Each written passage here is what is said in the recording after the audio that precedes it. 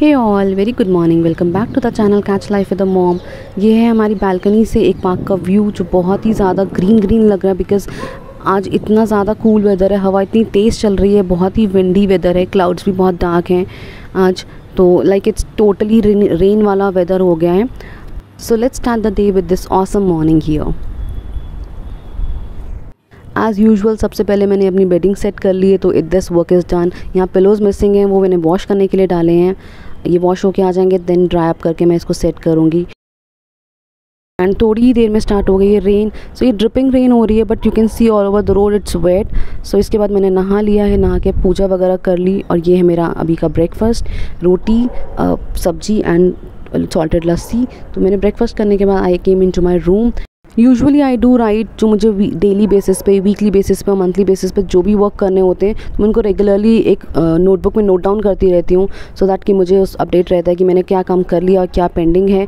And यहाँ पर मैं अपना वीकली रूटीन सेट कर रही हूँ uh, इस वीक के लिए कि मुझे इस वीक में क्या क्या कंप्लीट करना है मेजर वर्क्स सो ये here I am doing that इसके साथ साथ मैं अपने बाकी चीज़ें भी लिख लेती हूँ जो मुझे कुछ भी मतलब इंपॉर्टेंट करना होता है या uh, कुछ परचेज़ करना होता है तो थिंग्स लाइक दैट तो I do keep writing that ये है लंच टाइम तो मैंने लंच कर लिया था। इसमें मैंने दाल राइस एंड रायता लिया है। तो this is my lunch for today after my lunch मैंने यहाँ पर ये वाली अलमीरा खोल ली है इसको सेट करने के लिए। इसमें मैं यूजुअली डिफरेंट चीज़ें रखती हूँ जो मुझे एवरीडे बेसिस पे नहीं चाहिए होती। यहाँ मैंने कुछ सामान निकाल के बाहर रख लिया है। इस बास्केट में मेरे गाउन्स और वन पीसेज हैं and these are few of my bags वहाँ मैंने साइड में कुछ सामान निकाल के रखा जो मैं बैग बेड में डालूँगी। एंड यहाँ मैंने थोड़ा सा डस्ट कर दिया था। अलमीरा ऑलरेडी बिल्कुल क्लीन है बट मैंने सामान निकाला है तो थोड़ा सा इसको डस्ट आउट कर दिया है। इसमें मैं अपनी रखती हूँ जाप की माला, जो मुझे जब भी नीड होती है या जब भी मुझे मन करता तो मैं यहाँ से उठा के कर लेती हूँ। And this is the basket जो ये वाइट कलर की बास्केट है, इसमें मेरा क्राफ्ट का सामान है। जब मैं डीआईवाई करती हूँ तो मैं यहीं से निकाल लेती हूँ।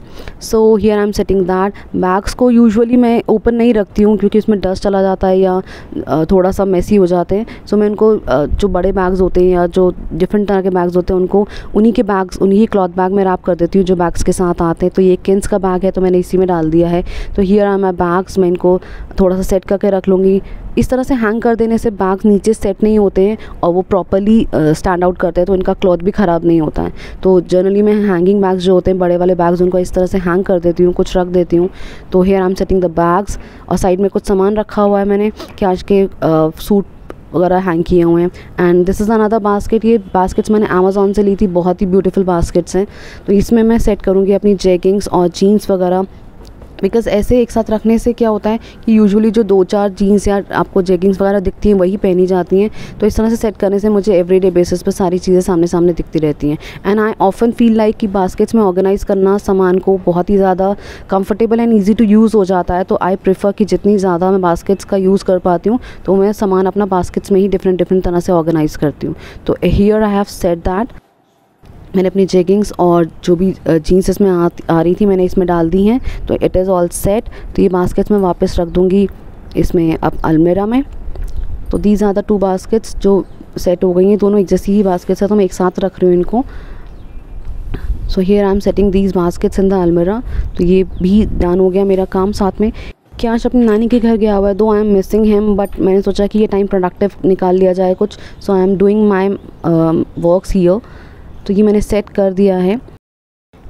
यहाँ मैं आपको शो कर रही हूँ कुछ बैग्स ये बैग्स अमेज़ोन पे इजीली अवेलेबल हैं 12 और 24 के सेट में। इन बैग्स में आप कोई भी सामान रख सकते हैं ड्रेसेस साड़ी सूट्स एक्सेट्रा कुछ भी पैक करके आप रख सकते हैं अपनी नीड के अकॉर्डिंग सो so, ये आगे से सेलोफिन शीट लगी हुई है और जिप लगी है जिसमें आप इसको सामान रख के बंद कर सकते हैं एंड पीछे नॉन वोवन मटीरियल है। So it's like very light weighted bags और ये ट्वेल्व और ट्वेंटी के सेट्स में अवेलेबल है।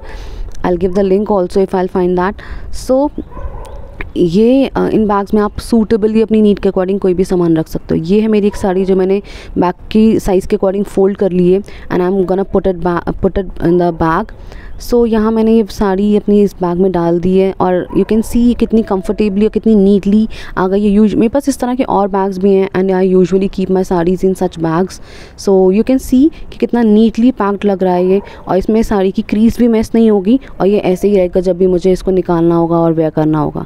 तो यहाँ मेरी चार साड़ियाँ मेरी बाहर पड़ी हुई हैं तो मैंने इनको अलग अलग बैग्स में डाल दिया है। अब मैं इनको एक साथ बेड में ईजिली रख लूँगी और जब भी मुझे पहनना होगा I'll take it out so this is the way इस तरह से बहुत ही ज़्यादा क्लीन वे में आप इसमें ड्रेसेस या कोई भी चीज़ इसमें ऑर्गेनाइज़ कर सकते हैं तो these bags are very much useful ये मेरी कुछ बैंगल्स जो बाहर पड़ी हुई थी काफ़ी दिन से तो मैंने इनको बॉक्सेस में सेट करना I keep my bangles in different different boxes with labelling तो उनको ड्रेसेस के अकॉर्डिंग या कलर्स के अकॉर्डिंग मैं बॉक्सेस पे लेबल कर देती हूँ, जिससे मेरे लिए बहुत ईजी हो जाता है बैंगल्स को नेक्स्ट टाइम ढूंढना। तो यहाँ पर मैंने यहाँ मैंने ये बैंगल्स एक बॉक्स में डाल दिए हैं। इस बॉक्स में स्पेस है तो मैं यहाँ पर सेट कर रही हूँ अभी ये बैंगल्स ये ब्लैक कलर की वेलवेट बैंगल्स हैं तो इनको मैं यहाँ पर सेट कर दूँगी इसके साथ। इस तरह से और भी मेरे पास कई बैंगल बॉक्सेस हैं, जो मैंने इस तरह से लेबल करके रखे हुए हैं। तो मुझे जब भी बैंगल्स चाहिए होती तो बहुत ईजिली मैं इनको निकाल यूज़ कर लेती हूँ निकाल के। तो मुझे सारे बैंगल बॉक्सेस को सर्च नहीं करना पड़ता तो it's very easy to look out यहाँ कैंच करा, नानी हाउस में मस्ती। ये क्लिप मुझे उसकी मासी ने भेजा है, जो छुप के वीडियो बनाई हुई है which is which clearly you can see so this is a video from that so मैंने यहाँ पर ऐड कर दिया है। बिकॉज़ कैंच वीडियो में ऐड ना हो तो वो वीडियो भी मुझे अधूरा सा लगता है। So here I am adding this so you can see his cute cute मस्ती टाइम एट द नानी हाउस सो so, ये है इवनिंग का time sun is about to set and आप देख सकते हैं थोड़ा सा यहाँ पर सन दिख रहा है and weather is so cool मुझे स्काई को इस तरह से कैप्चर करना बहुत ही ज़्यादा अच्छा लगता है. स्काई के डिफरेंट टेक्सचर्स डिफरेंट कलर्स ये मुझे बहुत ही ज़्यादा सूदन आउट करते हैं बहुत ही ज़्यादा रिलैक्स करते हैं. तो मैं यूजुअली स्काई इस तरह से कैप्चर करती रहती हूँ. एंड आजकल मैं पार्क में नहीं जा रही हूँ वॉक करने के लिए तो मैं इस तरह से ऊपर आके यहाँ पर छत पे वॉक कर लेती हूँ थोड़ी देर के लिए. तो आई एम डूइंग दिस तो इस तरह से थोड़ा सा एक मुझे स्काई का भी बहुत ही ब्यूटीफुल व्यू मिल जाता है and I do enjoying it and इसके बाद नीचे आके मैंने अपनी पूजा कर ली है, और अपने फिर स्टार्ट किए मैंने अपना यूजुअल काम like folding out the clothes जो भी आज क्लोथ्स वॉश होके आए हैं तो उनको मैं फ़ोल्ड कर रही हूँ यहाँ पर, और फोल्ड करके इनको अपनी सेग्रीगेटेड प्लेसेस में रख दूँगी. वॉश क्लोथ्स एक बार सेट होकर अपने अपनी प्लेसेस पर चले जाते हैं तो रूम और भी क्लीन लगता है। So here I am keeping the clothes are the segregated places और इसके बाद मैं करूँगी कैश का toy section clean completing this work this is the tea time तो ये बने हैं प्याज के और गोभी के पकौड़े। मैंने प्याज के पकौड़े लिए थे टी के साथ this is my tea time and after that this is the night time और कुछ कॉटन की शर्ट्स हैं जो बहुत ही अच्छे फैब्रिक में हैं बट इनका कलर डल हो गया था धूप की वजह से सो इनको रीडाई कराया है। यहाँ मैंने इनको प्लेन वाटर से वॉश करके थोड़ी देर के लिए टैप पे हैंग कर दिया है। सो मीन वाइल बारिश इतनी तेज़ स्टार्ट हो गई so I came out to click this बारिश इतनी तेज़, इतनी ज़्यादा रेन हो रही है।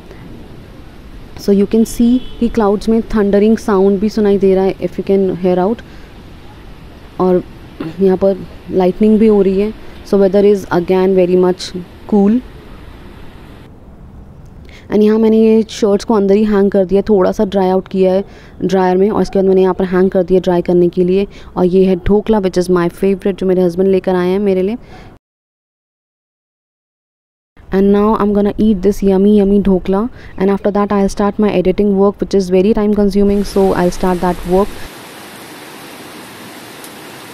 ये है लेट नाइट का क्लिप यहाँ पर बहुत तेज़ बारिश हो गई थी सो यू कैन सी कितना ब्यूटीफुल सा लग रहा है rain keep dripping and sound. So yeah this is all about today. I hope you liked it. Please do like share and comment down below. And also do let me know what you want to see in my videos. We'll see you in the next video. Till then bye bye good night and take care. Thanks for watching. Bye guys